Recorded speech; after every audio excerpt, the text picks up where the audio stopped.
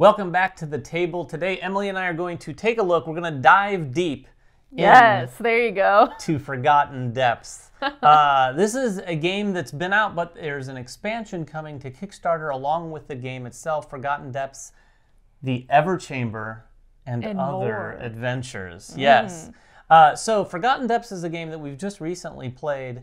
Uh, we're going to tell you a little bit about how that game plays, but then we're also going to give you kind of an idea, a peek. We don't want to ruin anything Just a sneak peek. little sneak peek at some of what the expansion is going to have because there's four parts to that expansion. But like I said, Forgotten Depths, if you can see, spread across this entire table. In fact, I can tell you, you cannot see all of it because there's a lot of setup here. And what you have right here is the first ecology Yes, uh, the ruins. in its final state, the ruins. When you play Forgotten Depths, you're going to start in the ruins. Mm-hmm. You're going to go down. You're going to face the Stair Guardian. Stair Guardian. If you get past the Stair Guardian, good news. You can level up. You can go down to the next ecology. There are three ecologies, and when you get to the bottom, you ultimately want to get to the end of that and face a, Final entity. the final entity. The final entity is a big bad, and we literally mean that it's going to be Very multiple big. cards. There's like heads and torsos and things like that. Yes. Um, but all the things you see here are map tiles. This is the sort of the exploration Finished part of the product, yeah. game. Um, you're going to see some of the things that we faced and gained through experience. That's going to be fighting monsters, Finding features. uh, yeah, exploring features, and discovering legendary locations. Each ecology has a set of cards like this. And as you can see, some of them, like this one here, is a 1, a 1A, a 1B, and there was a 1C right Which here. Which we found. When you encounter something like that, you can see the little icons here allow you to sort of Create, that create pattern. that pattern, which is going to be a theme in some of Mm-hmm. the expansion content. And then you can take one of these cards, you look at it, and it's going to tell you which stack to draw from next. And it kind of tells a little story. Yes. Lets you encounter a thing. It could be a bad thing. It could be a good thing. Generally good things, Generally I good think, that we saw. Um, and the other cool idea there is that you lay those cards out side by side. It's like a panorama. Yeah, Yes, of what you're finding, what you're seeing. it creates a cool panorama. And we each have a character. Mm-hmm.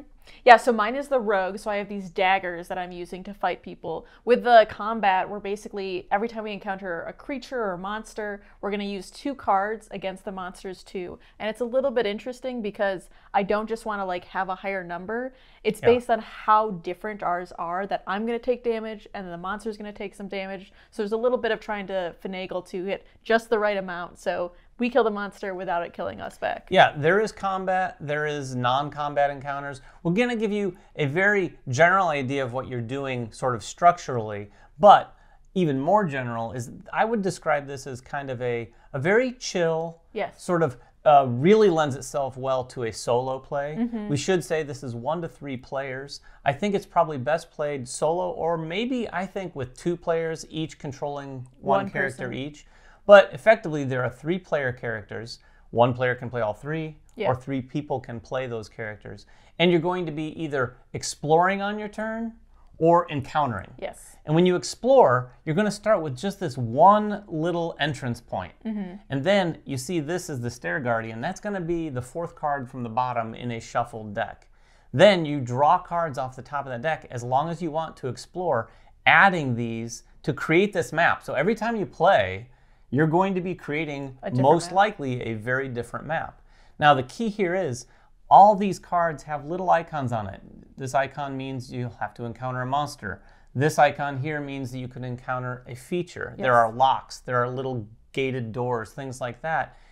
Once you flip a card and you can't legally place it, though, your game gotta is over. stop, yeah. So don't do that. uh, you're going to want to flip cards and you're kind of like puzzling this out. This is part of the game that I think I enjoyed most because you're really trying to figure out okay, we want to build to this legendary location. Right. So, okay, we've got that started over here. So let's flip another card. Okay, where can this go? Oh, it can't go anywhere but Yes. connecting to where we were wanting to build that and it kind of ruins that. So then Well, and have some interesting features too, right? Like secret passageways Yes. that allow you to go from one place to another, or there are places with items in the rooms, so we could choose to go there and like fight off the monsters first, or we could just try to avoid that entirely and hope to get to the Stair Guardian first. So it's a lot of choice in this too, on like how do you want to build out the whole section and what do you want to prioritize most? Yeah, and we actually, in our game uh, that we just played, we got to the Stair Guardian, but we really wanted that third legendary, Legendary location. location. So we went a little further, hoping to build that pattern right Yes. here, which we did. So we were able to do that. And then we went and fought a monster. We opened a treasure chest. Emily got a unique new item. treasure, a Yeah. new item. We would go on to the next ecology, and then the one after that, hopefully. Yes. And then ultimately beat the final guardian or the final, Final entity. entity, yeah. So that is generally what Forgotten Depths is like. Like I said, it's kind of like it feels kind of like a choose your own adventure. Yes. Feels like a rainy Sunday afternoon. You Yeah. sit down and play this by yourself or with a friend, and it's not terribly tense, but some of the combat can get a little interesting with the way those cards work. Yes. Um, what does the expansions bring? Well, there's four parts, and the first two that we're going to talk about are kind of simpler. They're easier to describe, mm-hmm. and they bring to the game. In fact, all of these bring to the game a lot more of what fans of the game really want, and that's a lot more narrative. Yes. A lot of fans really gravitated towards these characters, so they wanted to know more about the characters.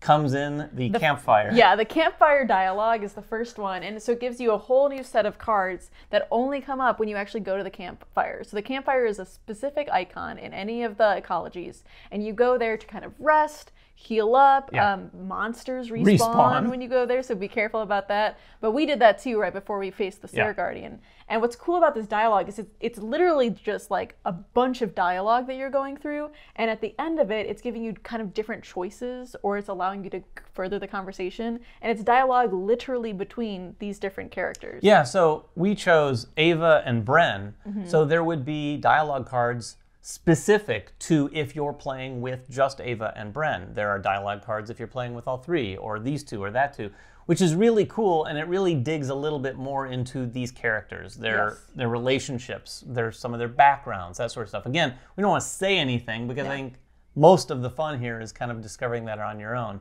But it does bring just a lot more flavor to the game and specifically to the campfires. Yes. On that same note are the esoteric histories. So those legendary locations we had, those already had a little bit of flavor. You would read one card and you would like look over into the corner of the room and find a little bit Something more. else, you might yeah. find something else and it lets you interact with something, maybe get an item. Well, the esoteric histories add a little bit more to those same locations, but not necessarily every one of them. Mm. These are going to come out in each time, each ecology, and some of the ecology cards, I assume, will be replaced with Sure. the expansion content, such that it might tell you to go reference an esoteric history. So I, I'm not going to tell you anything about what these say. But if you've ever played a video game like Skyrim or any sort of mm. RPG where you're going through someplace and you find a book, and you could look at the book, and there's actually quite a bit to read in the Yes. book, and it really has not much bearing on Mechanics. mechanics of the game, but it adds a ton of flavor. And there's a World lot of that yeah. in games like Skyrim. That's exactly what this is. It's literally volumes of books that give you a little bit more of the lore, not exactly sort of a narrative that happens right there in that room, but it gives you an idea of like the history of this Yes. location that you're in and these ruins that you're You exploring. feel like you're more in it. Yeah. Yeah, it's very interesting. So those are the first two that add narrative. The next two are much more significant. Yes, they and not only bigger. do they add more sort of not narrative, but more theme and, And more mechanics, more even. ideas of what you're doing. But yes, a ton of more mechanics. The first one is is, the Vault of Yarrick. yeah. And so the Vault of Yarrick is kind of like a side quest you're doing when you go through the ruins ecology. So when we go through the first one, the Vault of Yarrick comes in and you're able to kind of go along the map and find ways to go into this vault. And this vault is like almost a whole nother map we're doing where you're instead of like encountering features and monsters, you're trying to create specific pathways um, to encounter that eventual audience chamber and Yeah. hall and get to Yarrick's place and defeat him and his minions. Yeah, these puzzles that I really enjoyed about the map building and just the base game, I think are going to be ratcheted up quite a Yes. bit in this and the other one, the Ever Chamber, because once you're in these other locations, and like like you said, this one feels more like a side quest mm-hmm. because you're doing that, and then you are eventually coming back, and you're still needing to go down and defeat the Yes. final entity. Uh, you can do that in the Ever Chamber, but the Ever Chamber adds a little more. more. There's something else you can do to actually win the game. But the patterns that you're building are next level compared to what you're doing here. These patterns, in fact, the ones, the twos, the threes even get a little challenging. The Yeah. fours would be very challenging. Yes. The patterns in there are actually with the hallways themselves. And it, both of these expansions introduce diagonal Diagonals. hallways. So there's a number of different things you can sort of lay the cards out to create. Mm-hmm. And in the vault, you're doing it in a very, like we said, side quest sort of manner. Yeah. You might be able to do some things, collect some things that make you a little bit stronger for when you go back to the ecologies Right. and, and go on your way. The Ever Chamber is sort of next Next next level. level, Yeah. because you go there and you're building one of like four different things. There's a forge, there's portals to go back and forth. There's the engine. Yeah. There's the engine, which is sort of the ultimate thing you're doing. There's this whole type of creature there, the chimerics, and they're gonna chase you. They're think of if you've ever seen the Dark Crystal, they kind of remind me of Yeah. the Dark Crystal guys.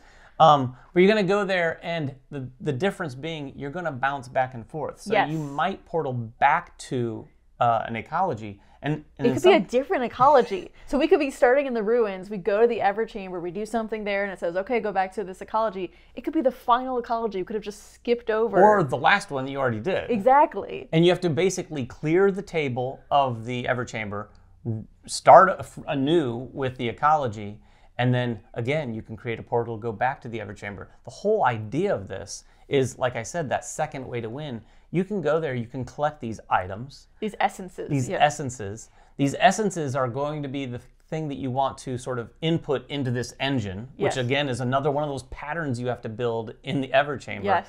Once you do that, all heck breaks loose, Mm-hmm. and you have to get out of the ever chamber back to the ecologies, and all the while these chimerics are chasing you. Yes. And that is effectively the other way to win the game is to sort of like start that engine, overload it, I guess, is what you're doing, and get out of there. But the super cool part too is that as you're going, you get these items you can forge, and there's three of them. If you can forge all of them, you can choose to put them all on one character, and they become like this basically whole upgraded version of it. Yeah, you've you've you've changed your form. Like or Or- each character can take one of the items, and it's kind of maybe less significant than this. But it's like cooperative but it's abilities. a cooperative approach to that. And in fact, was it the vault had another one of those items? Yes, the chains of Valkoth that you can Yeah. get as an item if you can defeat um, Yarrick in there. And that's cool because this item is one character can take it and it has one way to use it. It offers one type of power.